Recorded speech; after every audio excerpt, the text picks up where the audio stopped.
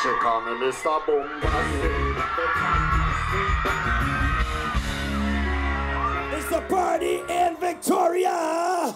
It's not often that international reggae superstar Shaggy heads north of the American border. Long time Victoria, me no see you. See you. Reggae people, put your hands up! The Jamaican born chart topper with a catchy catalogue of music to his name is making his way across Canada with back to back tour dates promoting his new album entitled, Out of Many, One Music.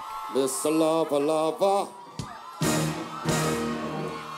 We met with Shaggy before his performance at Club 919 in Victoria, and one thing he likes about his Canadian fans loyalty. Mr. Lover, lover.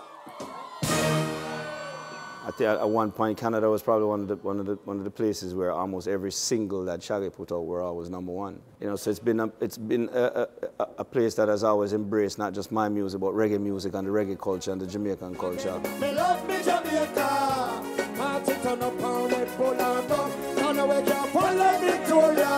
I, you know, I'm the guy that when I go to show, I look for that receptive audience, and, and you know, there's no shortage of that in Canada.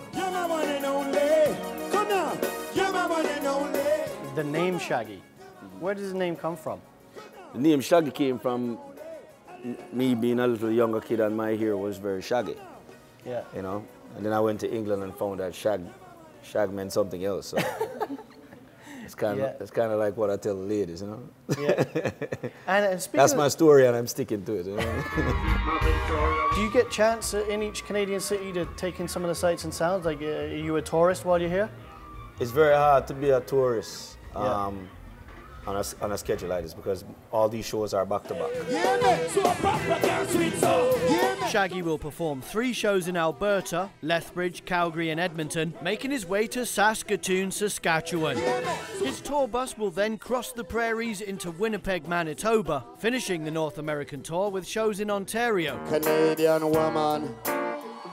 For people who are going to think about coming to the concert, what will they get to experience from Shaggy? What will they see that they perhaps haven't seen before?